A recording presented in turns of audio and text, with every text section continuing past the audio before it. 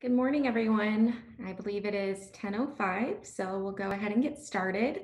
Um, my name is Kelsey DeNoyer. I'll be doing the presentation today. We also have Amy Loving, who will be moderating um, and helping me to answer some questions. So feel free to type your questions into the Q&A box um, as we go through the presentation, and I'll try to answer them all at the end. So with that, let's go ahead and get started.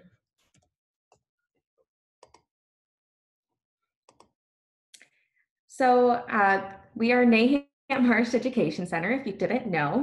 And so we are a 305 acre urban wetland surrounded by industry here in Southwest Davenport. Um, so we have a lot of stuff going on around us um, that kind of influences our education programs and the way that our conservation efforts are run. We are a 501c3 nonprofit agency and have been since 2000. So with that being said, we run largely on donations. So if you'd like to help support us and our programs like this, please check out our website and donate after the webinar. Um, and finally, we have programs resuming in limited capacities this week. So it's really exciting to get back and have people here at the Marsh. Uh, Jimmy Weebler is going to be doing birding starting on Saturday. We'll also be offering some plant hikes. So feel free to check those out on our Facebook and website um, so we can see you guys again. So a little bit about me. Um, again, my name is Kelsey DeNoyer. I am an AmeriCorps environmental educator. I've been here at Nahant for a little over a year. Um, and I recently graduated from Western Illinois University in Moline with my bachelor's in Recreation, Park, and Tourism Administration with a minor in Environmental Studies. And I would also say I'm a bit of an invertebrate enthusiast, um, thanks to Amy Loving. She's introduced me to a lot of the really cool things um, about insects and invertebrates in general. And you can see here in these pictures that I get really excited about that. So with invertebrates, insects make up a large number of those. And I'm going to be referring to a few of these different um, terms throughout the program. So I just wanted to briefly review them, make sure everybody's all on the same page. So every insect has three main body parts. They have the head, the thorax, and the abdomen. Um, those will be crucial when we're referring to different parts of the dragonflies and damselflies and talking a little bit about um, what makes each one different. All insects also have six legs. Uh, not really going to be a huge part of this presentation, but important to note. They also have at least one set of wings. Damselflies and dragonflies have two sets. Um, so the front ones here are the fore wings and the back are the hind wings. And finally, dragonflies, um, damselflies, bees, all other insects have antenna. So you may not be seeing antenna on this picture here and wondering where it's at.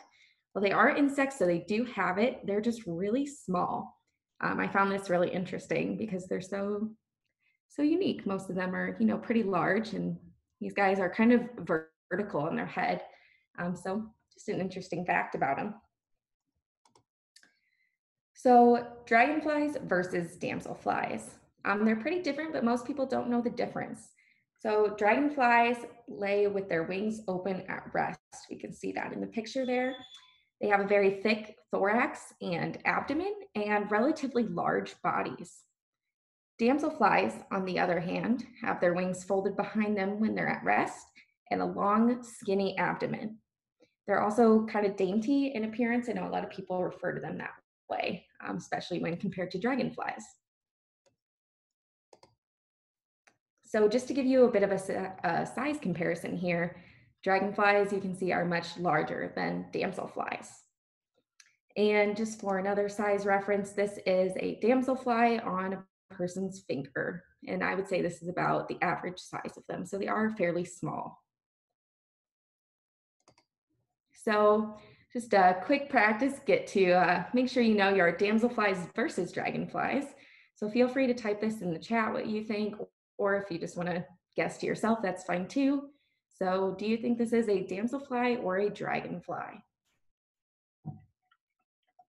Give a few seconds here.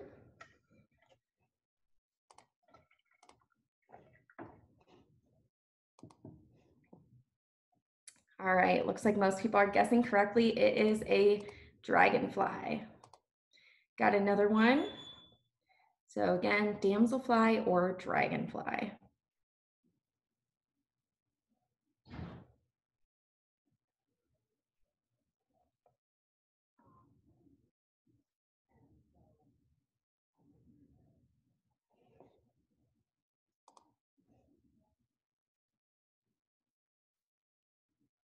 Awesome. Looks again like people were guessing correctly. It is a damselfly. Another one here. We got a pair, damselflies or dragonflies.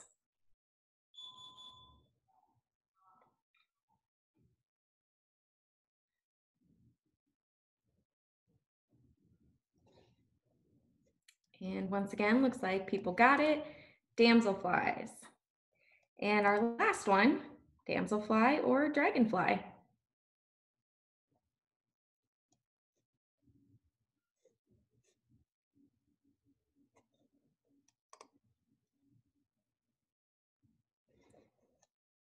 So this one may be a bit tricky, but it is actually dragonflies. And that kind of segues right into our next topic, which is their life cycle. So dragonflies and damselflies actually start out um, in the water. So the adults lay their eggs in the water, and we'll get to that um, a little bit later. And then they spend a large part of their life living there. So a common misconception about um, dragonflies, damselflies, and kind of insects in general is that they only live for one day. And that's actually false. The shortest life cycle, um, you know, given, not that, excuse me, I'm trying to think the right way to put this. If they are not eaten by predators, um, their longest or their shortest life cycle is six months. So that's a pretty long life, um, I think, for how small these guys are um, definitely longer than the one day that most people think.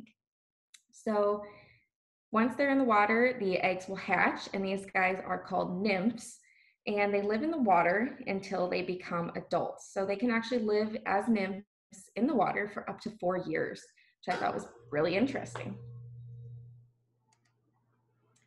So as they grow, um, they get larger and larger and they shed their exoskeleton and that can be about eight to 17 times depending on the species. And again, that can occur anywhere between six months and you know four years, uh, just depending on what species it is. So when they're finally ready to become an adult, they will climb out on to like a plant or um, we get a lot out here that climb up onto our dock, just something out of the water and they'll molt one last time.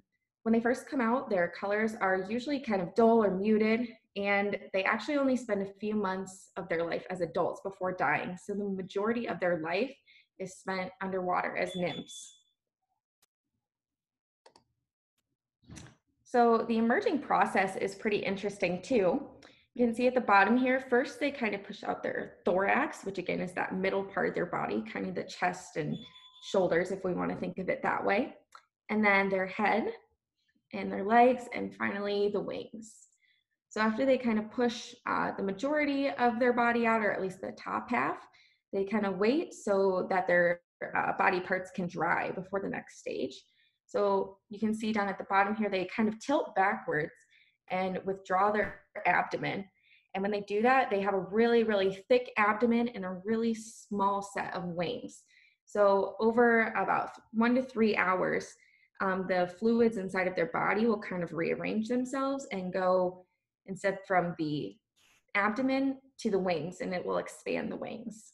So they leave behind a little cast. I know a lot of us see this with uh, cicadas and other insects, and this is called an exuvia. And during this time, they are very vulnerable to predators because it's such a you know simple process, but it takes a really long time, and their bodies are really soft and delicate. So I wanted to show a brief time lapse of what this actually looks like.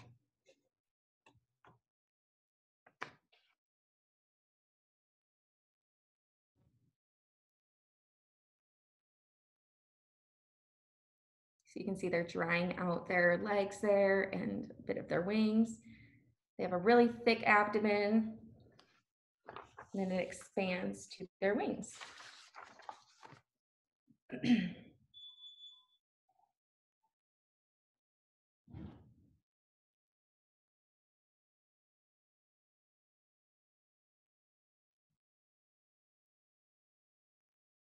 So it takes uh, a pretty long time for their bodies to dry out and for those fluids to redistribute in their body.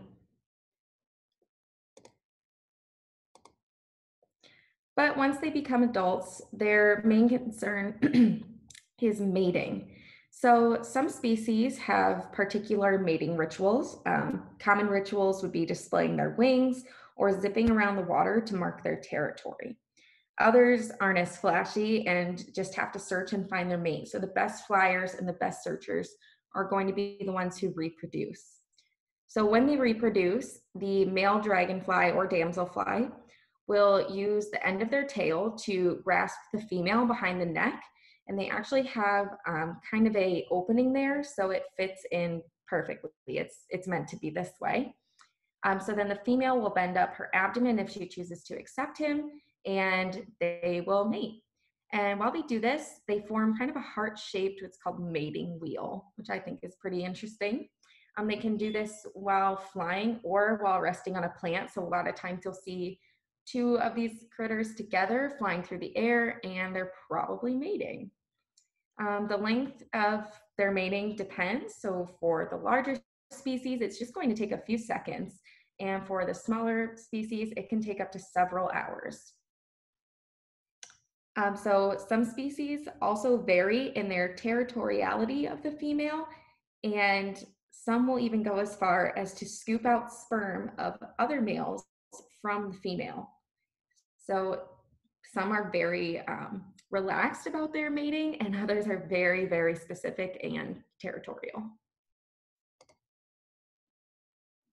So when it's time to lay the eggs, um, again, depending on the species, some males will follow the female to lay them and others will just kind of take off. So the female will go to lay her eggs in the water and some will rest um, on vegetation as we can see in the top picture here or different aquatic plants and they will scoop their tail kind of um, in a curved shape and lay it underneath of that vegetation. Others will just kind of fly around and dip their tail in and out repeatedly. And they're not really laying on their eggs on anything in particular at that point. They're just kind of dropping them in the water. And those eggs are surrounded by a thick, sticky jelly that you can see here, and that helps them to kind of stay together. It helps keep them protected and to keep them on vegetation if the female lays them on there. So insects are really cool in general, uh, but dragonflies and damselflies also have a really cool adaptation. So as young, they have these really cool mouth parts that help them to catch their prey. So the adult dragonflies and damselflies are actually really incredible predators of the insect world. They eat mosquitoes, midges, butterflies, flies, and more. They are also some of the fastest flying insects. Um, they're the fastest flying in our area, at least. So they can go up to 25 to 30 miles an hour um, and they average about 10 miles per hour, which is still really fast if you think about how small their bodies are. So um, I wanted to show this brief video here that does a really great job explaining their mouth parts. They're the order Odonata. That's dragonflies and damselflies to most of us. Before the dinosaurs even existed, they had a two-foot wingspan, like a small hawk. Today, they're more modest in scale, but no less deadly. Take their eyes. Each tiny hexagonal cell picks up light from a different direction, which gives dragonflies an almost 360 degree range of vision. Four wings help them hover or turn on a dime. That means this hunter rarely misses.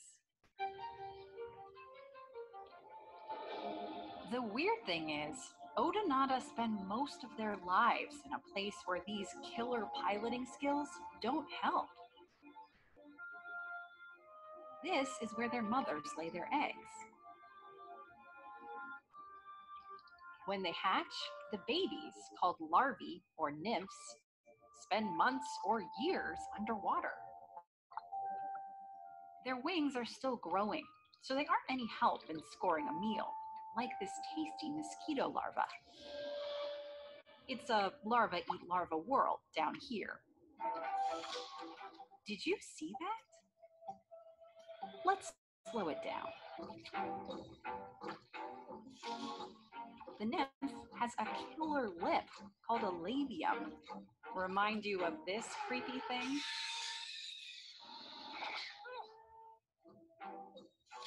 For this skimmer nymph, it's shaped like a spork.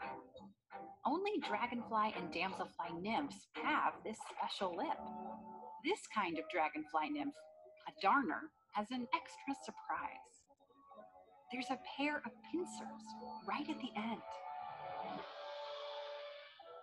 It all happens in a fraction of a second.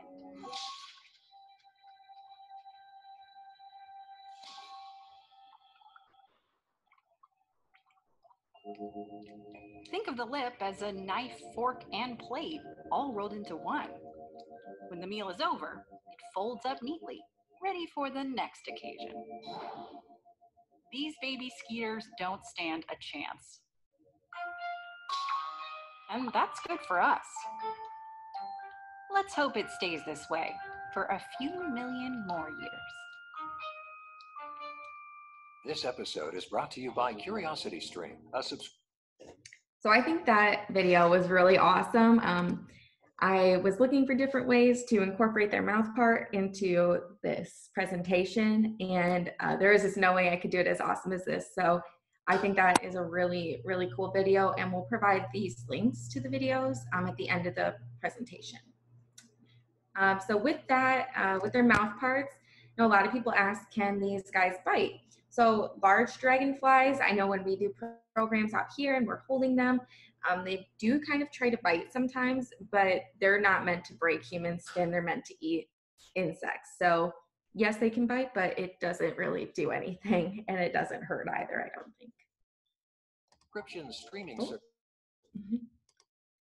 So with that, we'll get into identification of some common uh, species that you may see out around here, especially at Nahant Marsh, but just in Iowa and Illinois in general. So just again, wanted to briefly go over their body parts and um, just remember kind of the things that we'll be looking at.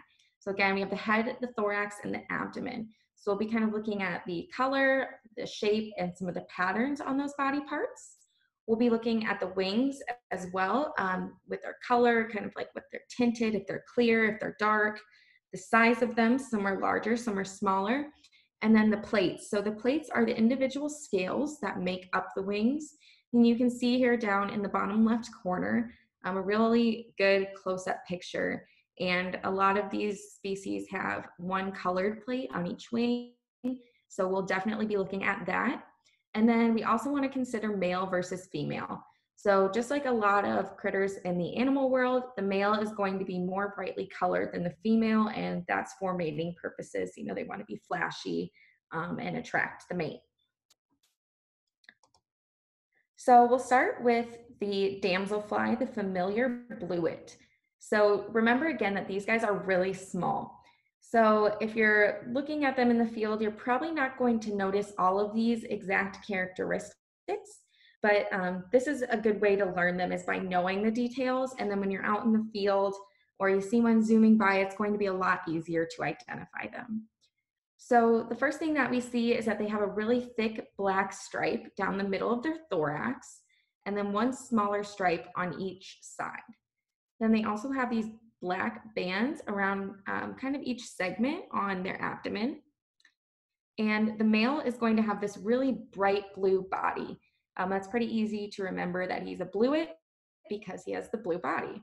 And then the female is going to be more of like a dull bluish gray or brown, but we can still see that she has those thick stripes on her abdomen and her uh, thorax. And I will say, if you're like, wow, those don't really look that similar, um, it's much easier to identify males in the field than it is females. And that's for everybody unless you're an expert. So don't feel uh, don't feel a little lost because it's hard for everyone. So the next one is the orange bluet. Um, I think this name is really funny because it just contradicts itself, but it's really, really funny to me. So again, um, just like the familiar bluet, they have a thick black stripe going down the thorax and one smaller stripe on each side. But if we look at their abdomen, we see that it's mostly black um, and it just has that orange tip on the tail. And if you remember those um, appendages I was talking about when they're mating, you can kind of see that here actually on their tail, where it has uh, kind of a little point and that's where it fits into the female. So again, the male has a bright orange body and then the female is going to be kind of more or of, of a dolish orange or even a tan. Um, some may even see hints of green. It just depends on the individual. But again, we're primarily looking at that um, kind of orangish tint with the thick black um, stripe down the abdomen and that orange tail. So the next one is a little less common, but I think it's really interesting, so I wanted to include it. This one is called the seepage dancer. So it has some varying stripes on its thorax um, and one orange plate on each wing. So we can see that here in the picture at the tip, that orange plate. And they're called the seepage dancer because they're found where water kind of seeps up from the ground. So we talked about earlier how their eggs are laid in water. That's primarily in places like ponds, um, slow moving streams, lakes, marshes. Um, they're not really going to be found as much in rivers um, because their eggs are going to be swept away. But these guys, they like um, kind of vernal ponds or places where the water isn't always there. Um, but the groundwater will seep up when it's really saturated, and that's where they're found. So the male has this blue body with the orange hues, and you can kind of see the orange, um, especially on their legs, and then a little bit on their abdomen. And the females are going to look um, a lot different. They have a black and yellowish tan body. Um, the real way to kind of differentiate um, these guys with some others that may look similar, I think is just looking to see how this seepage dancer, the female, how her colors kind of vary. Most um, most of the other female damselflies are going to be, you know, just dull blue or dull yellow. Um, these guys kind of look like a pastel tie-dye to me, I think. This one is a really cool one. Um, these are going to be very easy to identify in the field because there's nothing else around here that looks like them. This is the ebony jewelwing and they have matte black wings and a bright metallic body. So we can see the male on the left here has a uh, metallic blue-green body. And then the female, her head is primarily a metallic green, but her abdomen is a bit more matte and it's darker. Again, these guys are really cool. So now we'll move on to dragonflies. Um, so they're much easier to be seeing um, or to be able to identify while they're out in the field just because they're larger. But there are so many of them, and I just wanted to point out really how many. Um, you can see here that there are 11 families, around 350 genus, and over 3,000 species. So some of the families here um, are hawkers or darners, clubtails, spiketails, skimmers, and there's really so many more. If you're interested in learning about the different um, taxonomical groups, I would recommend dragonflysite.com. Um, they did a really great job of explaining the different families and their common characteristics. Um, and just to remind you, this is kind of how the taxonomic order goes. And we'll see here as we go to identify the dragonfly types that the families will look kind of similar in their body shapes. Um, so if you get familiar with the families, you'll be able to at least um, break it down a little bit. You know, if you see a dragonfly in the field and you're not exactly sure what species it was, but you could identify um, maybe some of its family characteristics, that's going to help you. So the first one is the common green darner. This one is, I think, probably the easiest to identify because it is one of the largest and the fastest. And if you've ever seen these in person, um, you know what I mean. They're very, very large. You can see here that their green head and thorax is just really wide and thick compared to their abdomen. And if we look at the tips of their wings, both on the forewing and the hind wing, you can see there's kind of a yellow uh, tint along the rim. So the male is going to have this green body and then the blue abdomen with the black markings going along it. And then if we look at the female, you can see we, she still has that bright green body, but her, her abdomen, excuse me, is much uh, different. It's brown or even tan, and the tint on her wings, it's much more pronounced. So another really common one that actually often gets mistaken for the common green darner is the blue dasher. So you can definitely identify these guys by the way that they perch, and that's with their wings forward. They have dark stripes along their thorax, as you can see here, and dark plates along each wing. So the male has a chalky blue abdomen with that black tip at the end, and kind of towards um, middle of his body, right next to the thorax, there's going to be an orangish yellow tint on the wings. The female is pretty similar again, um, but she has a yellow and black abdomen and she has more of a green tint on the thorax. But the really easy way to identify these is by the pattern on their thorax there and the way that they perch.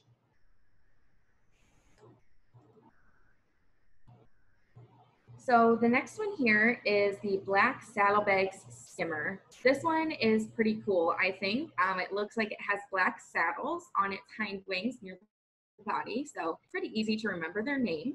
And then they have a small black plate on each wing. So the males are all black, and if you see them flying around, you'll probably be able to identify them right away just because you'll see that the back end of their body is much thicker um, and you can kind of tell it's on their wings. So right away, you can know that it's a black saddlebags. Then the females, on the other hand, um, their, their thorax is going to be a lot lighter. You can kind of see through the wing here, it's more of a brown color than it is black. And then they also have a yellow spot on the end of the abdomen. And if we look at their saddles, um, it's not quite as pronounced, but you can still see it, so you can still identify it. And um, hopefully I'm not going through this too fast, but just so you guys know, this is being recorded um, and will be posted on our YouTube page. So if you um, wanted to take notes or you wanted to review something, it will be available for you to see. So the next one here is the Widow Skimmer. This one has a black and white band on each wing and a black plate at the end of each wing. So we can see that here. The male has a really, really light powdery blue abdomen. Sometimes it even appears white. Um, but mainly we're looking at those wings. Those are the big giveaway for these guys, at least the males. Uh, because if we look at the female, it's not quite as pronounced, um, at least not with that white to contrast it. But we see that her body is uh, black uh, compared to the male's light blue. And then it has a yellow stripe running down it. So these guys can be easily confused with the saddlebags because they don't have the white, um, you know, if we're looking at the female. But we see that the female widow skimmer has the black on the forewing, whereas the saddlebags does not. So that's our uh, key to be able to distinguish them. And if you look pretty closely, you can see there is still a faint white band. Um, sometimes it's not there, but it usually is at least a little faint. Um, so you can still identify it that way too. The next one is the Eastern Amberwing. So these guys are really cool because they're much smaller than most of the other species. Um, I would say these guys are only maybe about three inches long compared to other species, which are, you know, at least five inches long. So they have these really large red eyes, which really stand out on their smaller bodies. So the male has dark red abdomen and his, his wings are bright orange and they're covered in these veins, which you can see are kind of a yellowish color. They also have a uh, plate, a colored plate at the end of each tip, but once you see these bright red bodies, you'll know right away it's an Eastern amber wing. And the females are still fairly easy to identify. Again, they're gonna be much smaller Um, and they still have that orangish reddish color. They're just a little bit more brown, so they'd be kind of rusty. And you can see on their wings that they have kind of those dark bands. So thankfully this one is uh, pretty easy to identify. And finally, we have the Halloween pennant. So this one is really fun. Um, kids always really like the name of this one. So it gets its name because it's black and orange, as we can see here. Both the male and the female have these banded wings or spotted wings, however you want to call it. Um, so the male is really black and orange. We can see the orange tint on his wings and the black coloration. And then a bright orange, um, almost even appears red, plate on each wing. And then the females and the juveniles will kind of be more of a yellowish color rather than an orange. Um, and you can see that the tip of their wings have yellow plates instead of orange.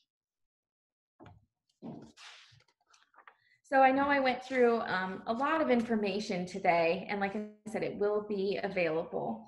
But if you're looking for a way to kind of continue learning, or if you want to be able to identify these in the field, I'd recommend these resources. So the first one is the Kaufman Field Guide.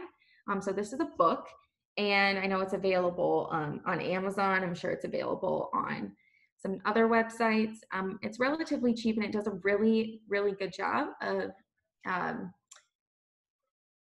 describing the different characteristics of each insect, not just dragonflies and damselflies. The other resource is iNaturalist. This is a really cool app. Um, it's free for Apple and Android. And you can take photos of different things in uh, nature. This is plants, animals, birds, what have you, and it will help you identify it. I will say the downside to this one is it's really hard to get a good picture of a dragonfly or a damselfly because they are such fast flyers. Um, and the damselflies, again, are really small. So this one might be a little bit difficult um, to use for dragonflies and damselflies unless you're catching them and then taking pictures of them that way. The other one here is insectidentification.org.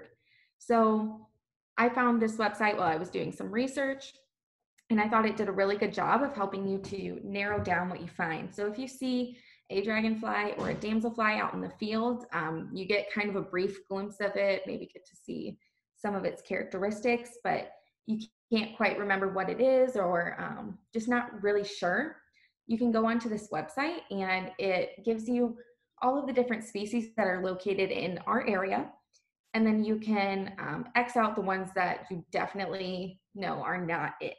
Um, so if you saw a, say an orange dragonfly, you can X out all the ones that are blue and green, and it will help you to narrow down your search and figure out which one it was. And then the other resource I'd like to share is Quizlet. So I've been making these um, study sets, is what they're called here on this website, and I'll show you quick how we can go to that. I may have to reshare my screen here, so give me one second.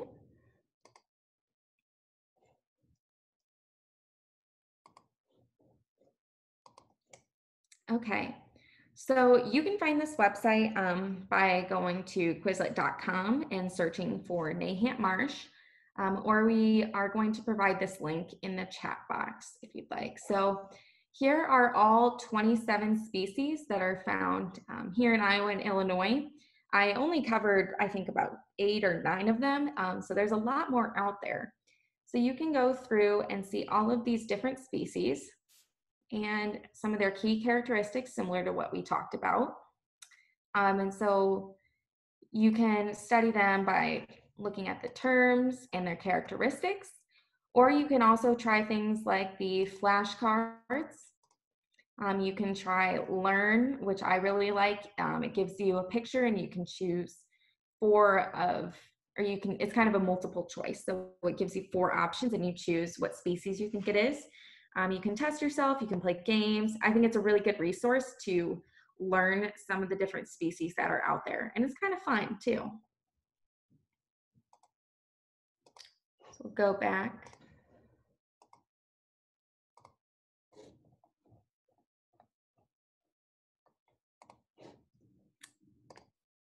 All right. So with that, I'd like to just say thank you guys so much for tuning into this webinar today and learning about some really awesome insects that we have. Um, I know I went through it a little quickly, but I hope you guys were able to learn a whole lot and maybe even find some cool things that you can look up on your own later. So at this time, I'd like to take any questions that we might have. So feel free again to put those in the Q&A box um, and we'll try to answer as many as we can.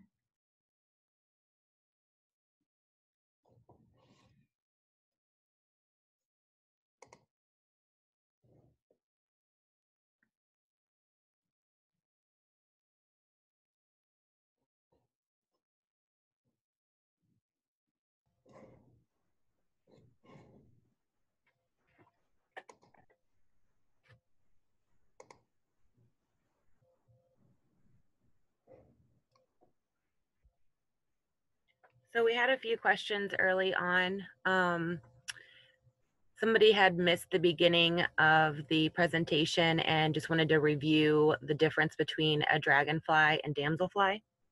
Absolutely. I'll even uh, go back to that page there just to give a visual. So again here, the dragonflies are going to be much larger. Their wings are going to be open at rest um, and those are really the main things. So much larger bodies and wings open. And then damselflies, on the other hand, are going to be much smaller, um, skinnier, and kind of more dainty. And their wings will be folded behind them when they're at rest. Another question um, was about when will the nymphs usually emerge from the water at the marsh? That's an awesome question. Um, so it again depends on the species and just when the the adults mate and lay their eggs. So I've already seen um, a couple adults that have been out. So I know that some of them have already begun um, emerging, but I would say that primarily they emerge in the in the early summer, um, kind of around June, July. And we'll actually see um, about that time, we'll see a bunch of the leftover skins, the exuvias, just hanging out on our dock. So you know that they're emerging, which is pretty cool. Helps us keep our mosquitoes low. Okay, we've got a, several more questions here. Um, right. What is your favorite dragonfly or damselfly? Ooh, that's a really good question. Um, man, it's a good one. I don't know. I think I think the Eastern Amberwing is pretty cool um, just because they're so different and that bright orange is really easy to tell. Um, but I would also say that the Ebony Jewel wings are cool too, the ones with the matte black wings, just because they're so different from the rest. Okay, um, another question is, which species do we see most at Nahant Marsh? Hmm. Um, I would say we see a fair amount of both. I've been seeing, I think, more damselflies than dragonflies recently, um, but that may just be because of their different um, times with emerging. But I would say it's probably pretty even. Okay. Um, another question is, what do damselflies eat? Awesome. Yeah, so they eat the same things um, as dragonflies. They eat insects, um, but they just eat smaller ones because their bodies are smaller. So they also have that mouth part, um, but dragonflies are kind of considered the the bigger predator just because they are so much larger. Okay. Um, what do their eggs look like? So I can go back to that. Um, it, they're really small and let me tell you, I had a really hard time finding a photo. So apparently they're very secretive too. Um, oh boy, that didn't work. Go back to it. There we go. So this is what they look like. I'd say they almost kind of look like seeds um, in a thick jelly. So they're kind of a brownish color. All right, and um, one more question here, it looks like. Can dragonflies sting you? Can they sting you? No, they don't have stingers. Um, really, their only defense is their mouths, which um, like we said, they can bite, but they can't break the skin. So it really, I've been bitten before and it really doesn't feel like much. So. Okay. Um, does the damselfly shed? Yes, they also shed their exoskeletons as they um, grow larger as nymphs. And then again, as they come out for that final stage to become an adult, they do shed. Um, I, a lot of the pictures that I included today were dragonflies just because they're so much larger and uh, therefore easier to photograph. So there's uh, definitely more of an abundance of the dragonfly photos than there are damselflies. Do dragonflies eat damselflies?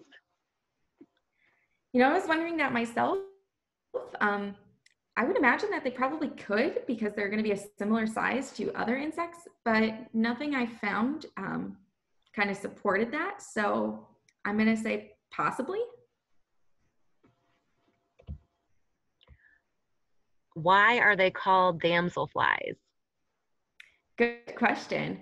Um, I tried to look into the names of these critters actually. Um, I didn't find much really about damselflies, although I did find something to support um, kind of about dragonflies and something to do with some ancient like folklore stories about them um, and how they kind of fly and um, act similar to dragons. So good question, and I'm not sure.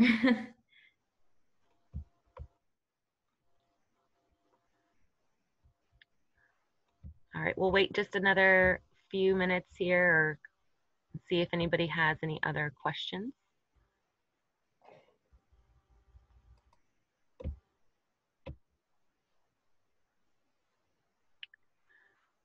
Okay, so someone says that, um, Annie says, we have a pond with fish and have been planting plants to attract dragonflies and damselflies.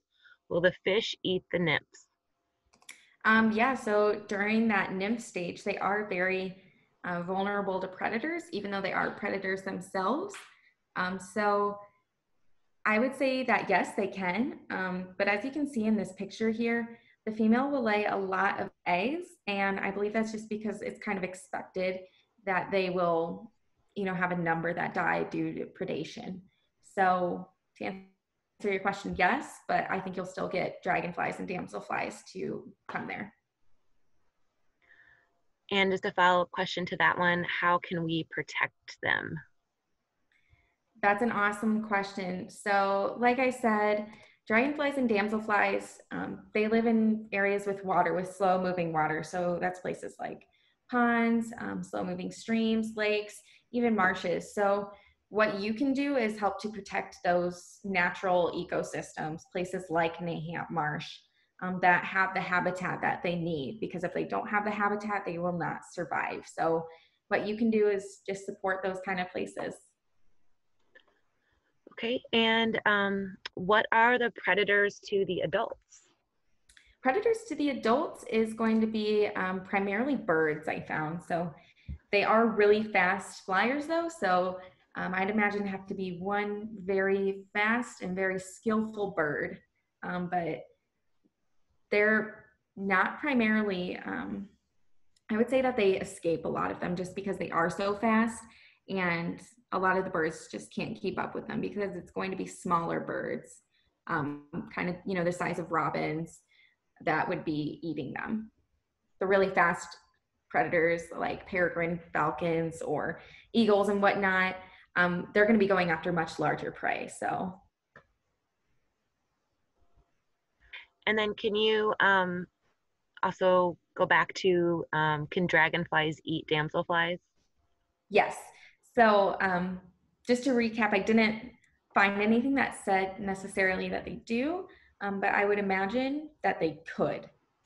Um, they may be a little bit large, just depending on the size of the dragonfly, but I'm gonna I'm gonna go with the yes, they probably could, and they probably do on occasion. I believe that mosquitoes are their favorite um, favorite foods, though, so that helps us. Okay, well, it looks like there are no more questions at this time. And um, just to reiterate, there will be resources sent out to you um, via email, including a recording of this webinar and some of the links that um, Kelsey mentioned in her presentation. There also, the links can be found uh, in the Q&A and chat. So thank you all for tuning in today. Thank you so much, guys.